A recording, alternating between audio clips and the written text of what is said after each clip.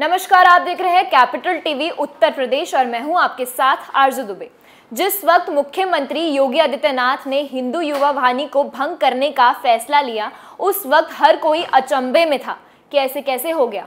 जिस संगठन के दम पर मुख्यमंत्री योगी आदित्यनाथ कुर्सी तक पहुँचे, आखिर उसे खत्म कैसे कर सकते हैं?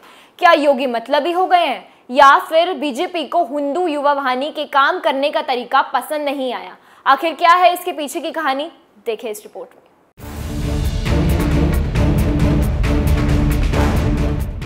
उत्तर प्रदेश की सत्ता में दोबारा काबिज होने के तीन महीने में सीएम योगी आदित्यनाथ ने अपने संगठन हिंदू युवा वाहिनी को पूरी तरीके से भंग करने का फैसला किया, जबकि राज्य में सीएम बनने के बाद उन्होंने इस संगठन को निष्क्रिय किया था और सभी संगठनात्मक इकाइयों को भंग कर दिया था। रिपोर्ट के मुताबिक 2024 के चुनाव से पहले संगठन का पूर्ण गठन किया जाने की पूरी संभावना है।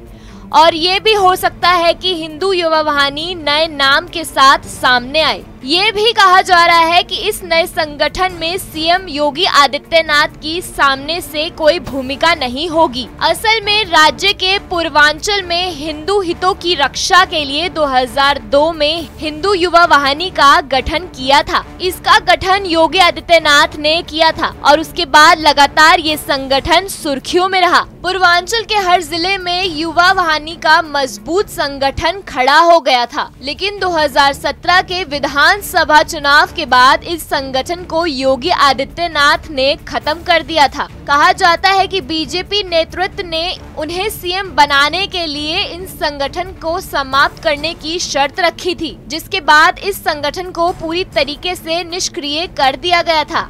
हिंदू युवा वाहिनी के खत्म होने के बाद अब इसे दूसरे नाम पर संचालित किया जा सकता है। इसको लेकर कहा जा रहा है कि इसकी सदस्यता के नियम काफ़ी सख्त होंगे।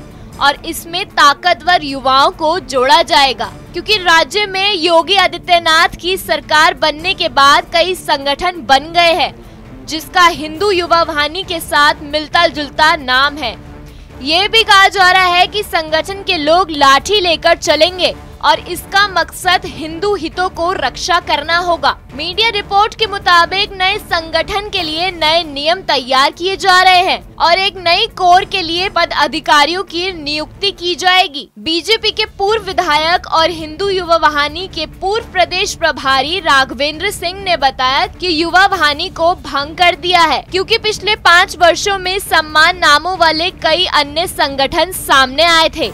हालाँकि ये भी कहा जा रहा है कि इसके लिए बीजेपी आलाकमान ने अपनी सहमति दे दी है, जबकि बीजेपी आलाकमान की सिफारिश पर ही 2017 में युवा वाहनी को एक तरीके से निष्क्रिय कर दिया गया था। अगर देखें, योगी आदित्यनाथ को हिंदू फायर ब्रांड नेता के तौर पर संस्थापित करने के लिए हिंदू युवा वाहनी की अहम भूमिका रही।